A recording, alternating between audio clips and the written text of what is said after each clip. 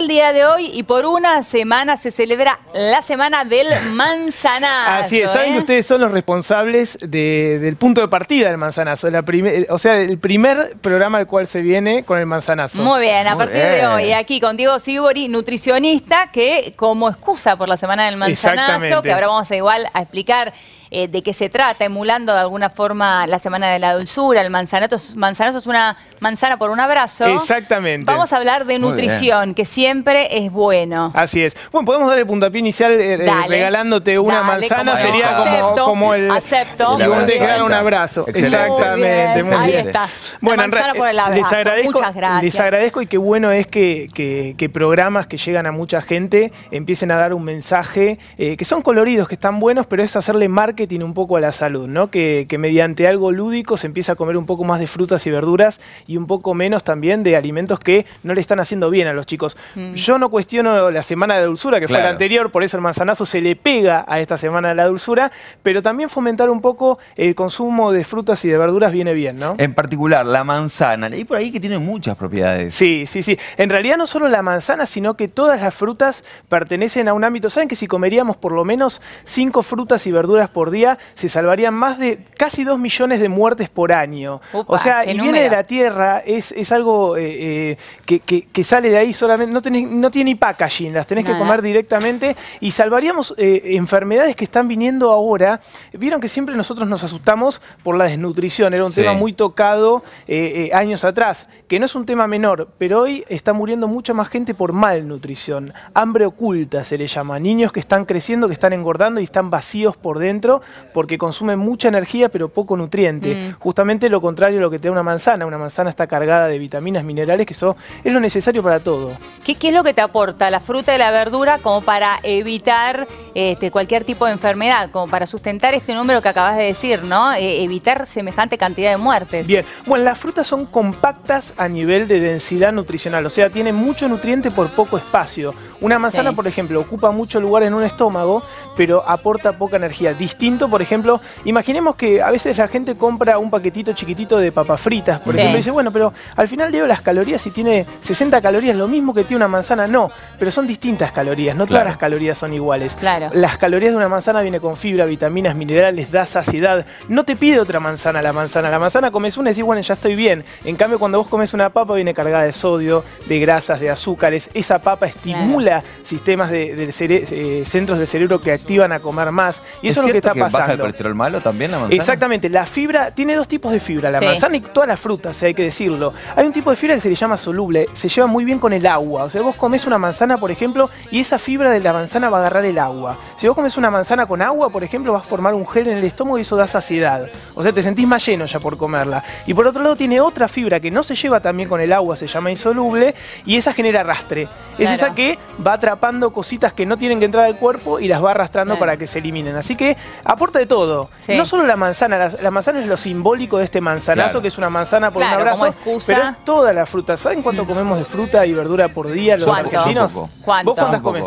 No, no, yo puedo pasar un par de días que no como Yo fruta. soy fanática de la manzana, ¿sabes? La manzana, bueno, la manzana Sí. es muy práctica. Soy pero fanática de la Comemos manzana. menos de dos unidades entre frutas y verduras. 1.9 según la última encuesta de factores de riesgo de la Yo Argentina. como ¿En verduras, cuánto pero tiempo? con frutas me, me cuesta. Eh, ¿eh? comemos 1.9 por día entre frutas y 1.9 verduras. Juntás todas las frutas y verduras, los argentinos comemos menos de dos unidades por día, Mm. cuando la Organización Mundial de la Salud eh, recomienda por lo menos comer 5. ¿Y por qué la Es hemos mucho. reemplazado eh, a la fruta? Es mucho cinco Pues, eh, por lo que se llama calorías huecas. ¿Sí? Calorías huecas, calorías vacías, que llevan a cuerpos vacíos, que es lo que está pasando. ¿Qué son las calorías huecas? Es energía sin Sí. contenido. Cuando vos comes, por ejemplo, snacks, comida rápida, ultraprocesados, comidas de paquetes, son comidas muy estimulantes a nivel cerebral, te dan energía, pero no te aportan vitaminas y minerales. Claro, las reales. Ahora, ¿qué- para sí. una, una consulta, ¿no? Porque mucha gente en su casa dirá, bueno, pero ¿sabes qué pasa también? Está cara, hay mucha fruta que está cara, hay mucha verdura que está es cara. verdad, es Entonces, verdad. por eso la dejamos de lado y la reemplazamos por alguna otra cosa. También es bueno saber qué fruta y qué verdura eh, es buena en cada estación. O sea, tenemos Muy excedente en cada bueno estación y, aport- y ir a eso, apuntar a eso, ¿no? Bueno, a- ahora, por ejemplo, el, el Ministerio de Agroindustria lanzó una campaña que se llama Más frutas y más verduras, Sí. eh, que, que- que viene aglomerado con un montón de entes. Por ejemplo, el Mercado Central, que es un lugar donde no mucha gente va, Sí. pero si va, los precios son No, totalmente tremendo, distintos. sí, pero te queda lejos. Te Claro. queda lejos, pero uno puede ir a hacer una pero- compra semanal, puede ir y comprar para la Para varios, familia. seguramente, Eh, A veces nosotros tampoco No, nos para esforzamos. Mí, para mí, sobre todo, Sí. es, por ejemplo, ahora yo te puedo decir, me encantaría comer frutilla. Y bueno, ¿sabes qué? Pero no ese de Sí, frutilla. La frutilla que compres ahora va a ser carísima. No comas ahora frutilla. Comer Muy- frutilla en la época de frutilla, ¿no? Muy bueno lo que decís. Hay que respetar. En el mundo se está hablando mucho de la sustentabilidad alimentaria. ¿Qué significa esto? Eh, estamos comiéndonos mucho los recursos eh, que para alimentarnos. Entonces se sugiere comer local. O sea, comer lo que, se, lo que hay en la localidad Sí. y comer estacional.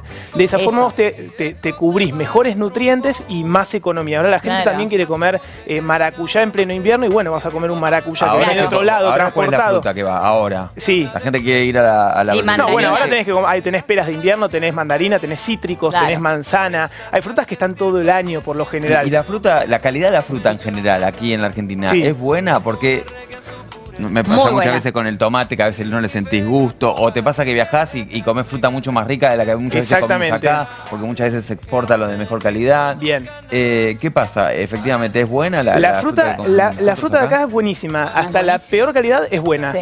Para decirlo así. Sí, es lógico que también eh, por una, por una eh, necesidad económica, a veces las buenas, buenas, buenas se, se- se exportan. Pero deberíamos tener políticas para que esas frutas también queden para nosotros, ¿no?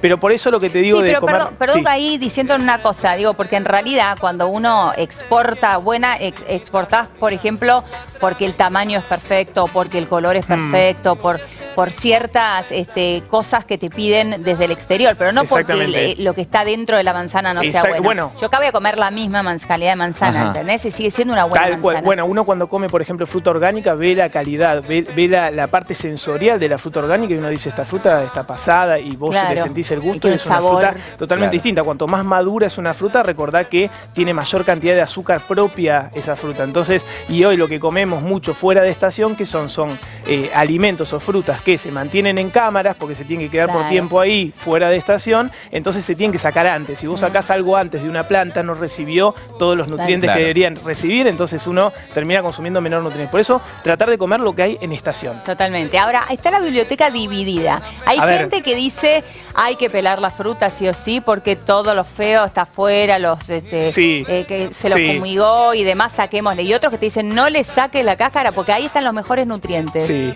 hay, eh, hay mucho, mucho mitología, no solo en la fruta, sino en la alimentación, en la nutrición. La gente Sí. sabe mucho de nutrición, pero no se acuerda de dónde se lo dijeron todo lo que sabe. Sí. Eh, por lo general depende de lo que quieras vos para tu cuerpo. Por ejemplo, la, la- la parte de la cáscara de una fruta conserva la fibra. Claro. La fibra es muy buena para, para todo lo que es la parte digestiva, pero hay gente, por ejemplo, que tiene algún problemita en el intestino, divertículos, digestión lenta y esa fibra, ese exceso de fibra no lo hace bien, entonces le conviene pelarla. Es verdad que los colores de la fruta Sí. es lo que indica qué tipo de pigmento y el pigmento indica qué tipo de Sí. vitamina y mineral hay. La gente se vuelve loca queriendo saber eh, qué es el licopeno, la vitamina C, la A, la- el beta caroteno de una fruta, pero comer, comer los cinco colores, naranja, amarillo, violeta, rojo y tenés todo. No te hace falta nada. Todos los nutrientes están en los cinco o seis Vale, colores que entonces hay en las recomendás frutas. que en algunos casos lo comas con y en otros sí, se- en realidad tema según de tu los cuerpo. químicos. es una necesidad individual. No hay, no, eh, nosotros tenemos entes que tienen que regular que no haya ningún tipo de agroquímico en exceso en las frutas. A veces se necesitan lógicamente para protegerlas de plagas. Ajá. Pero nosotros tenemos entes que controlan, como el SENASA, que deben controlar Claro. eh, eh, que no venga con nada. Siempre se recomienda lavar una fruta como Claro. mínimo cuando uno la retira de una verdulería, Claro. pero no solo por lo que pueda llegar a sino también por la sociedad, ¿no? Obvio. Esto de agrupar entonces la fruta y la verdura por color, Color. es así. Es Se- la, fr- la fruta y verdura verde, la roja, la amarilla. Yo le digo a un chico eh, que, que, por ejemplo, que generamos hábitos alimentarios. Bueno, comete un naranja, uno naranja y uno verde a la- al mediodía y a la noche, si ya comiste naranja y verde, come uno rojo y uno blanco. Ahí te vas cubriendo de todas las vitaminas, que es lo que lleva a, eh, cuando los niños no consumen eso, lleva una malnutrición oculta. Claro. Es lo que está pasando en Argentina. Hay un 8 o 10% de niños que tienen desnutrición crónica. ¿Qué es eso? No llegan al potencial de talla, no miden lo que tienen que medir para la edad que tienen. Son chicos acortados, más bajitos, ¿por qué? Porque por mucho tiempo les fueron faltando vitaminas y minerales. ¿Y cuál es el problema? Que eso no avisa en el cuerpo. Cuando vos te falta energía, te avisa, pero cuando te faltan vitaminas y minerales se llama desnutrición oculta porque no te das cuenta hasta que ya llevas un periodo largo de carencia. O sea, a los chicos dos veces por día hay que darle fruta. No, hay que darle cuatro o cinco frutas y verduras por día, todos los días. Cinco frutas y verduras por día. O sea, si comiste una ensalada que tenía lechuga, tomate, eh, no sé, y zanahoria y te comiste una o dos frutas en el día, ya, está. Igual mi consejo es empezar por una manzana por un abrazo, empezar por algo simple, mm, comela con piel, sin piel, comela cortada. ¿Te acuerdas que en una época se decía una manzana al día del doctor te alejaría? Exactamente, bueno, es que a veces no vemos... Eh, ¿No me lo escuchaste? Sí, sí, es, una muy buena campaña, pero a veces eh, no entendemos que, la alimentación es lo que nos forma, ¿no? Eh, nosotros le dejamos el último momentito del día a ver qué comemos. Y en base a todo lo que somos, todo lo que hacemos, estamos acá sentados, estamos bien porque nuestra alimentación permite que estemos bien permite que estemos mal. Entonces ya son decisiones nuestras y está al alcance de todos comer más frutas y verduras. Y, alguna técnica para, sobre todo para los chicos, ¿no? Porque están bombardeados. Buena idea. Hay uno que está, eh, que es linda para contarla, que es el condicionamiento emocional. Eh, un niño, si vos le mezclas algo emocionalmente positivo para ellos, con algún alimento nuevo, tienen más aceptación por el, alimento nuevo. Les, voy a, hacer un ejemplo. Puré de calabaza. Un chico por ahí te lo ve, mm, mala onda. Vos le pones un poquito de crema de leche adentro y el chico cuando siente esa cremosidad de algo emocionalmente positivo para él, que es la crema, para cualquier cerebro la crema de leche es emocionalmente positiva, lo empieza a aceptar. Una vez que aceptó y ve ese puré de calabaza, le vas retirando el, ese que la carnada que vos usaste inicialmente, la crema de leche, la vas sacando a poquito. le pones un poquito menos. Y ese chico no se da cuenta, porque ya generó un vínculo con ese alimento. Eh, eh, los chicos van aprendiendo por ensayos y por confianza. y también eh, aprenden por repetición. Claro, si vos le decís, tenés que comer más fruta y vos estás con un alfajor en la mano, el chico te va a mirar y va a decir, si te ven a ver a vos comer fruta y verdura, ellos van a comer fruta Tenés que siempre dar el ejemplo, la, la, escuela empieza en casa. Lo que pasa que también, por eso es bueno esto de la Semana del Manzanazo, además cuesta ir contra la maquinaria enorme que hay detrás de, publicidades y de cosas que son tanto más fáciles y más coloridas y tentadoras. Bueno, esto se llama hacer marketing de la salud y, agradezco nuevamente a ustedes que me hayan invitado para comunicar esto. A veces no se encuentran lugares para comunicar esto porque es menos redituable que alimentos procesados que son económicamente más sustentables para las, para las industrias, ¿no? Eh, pero eh, nuestro cerebro está cableado para estímulos fuertes. Eh, nunca una manzana, o sea, chupetín mata manzana cerebralmente es así. Pebete mata eh, zanahoria. No hay forma de que nuestro cerebro elija una zanahoria por sí si tenemos las dos opciones. Es por eso también generar entornos saludables es algo muy bueno. Si acá estamos rodeados en oficinas y nos bailan medialunas, es más probable que eh, caigamos en eso, porque nuestro por cerebro eso tanta insistencia en los kioscos sanos en los colegios. Exactamente. muy Pero ¿qué pasa? Yo pongo una, una ley para que haya más frutas y verduras en los colegios, pero al lado pongo los sanguchitos de miga en el mismo lugar y el chico va a llegar y va a decir, no, voy por eso. Claro. Entonces el kiosco está cumpliendo, pero por otro lado hay algo que se tiene que regular un poco más. No, y hay que trabajar sin dudas desde que son chicos, porque de verdad que se genera una conciencia que queda para el resto de la vida. ¿eh? Exactamente. Lo, digo porque hasta por experiencia personal, digo, ¿no? Me, ha pasado de, de chico de estar de tener que cuidarme y realmente uno siempre más allá que se da su gusto, siempre está presente la cuestión de, bueno, hasta acá, de poner Exactamente. ¿Saben cuál es el límite? Algo que dicen todos los profesionales, los 2000 días primeros del niño infieren en toda su vida. Los 2000 días, los 9 meses de embarazo más los 2 años son.